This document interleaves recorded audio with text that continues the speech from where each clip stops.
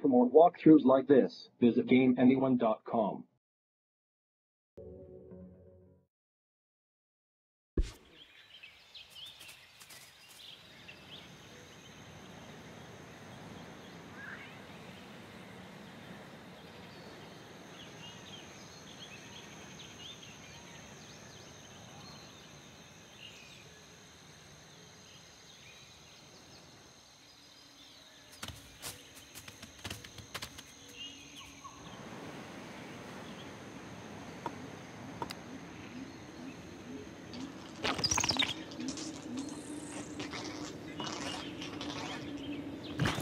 you.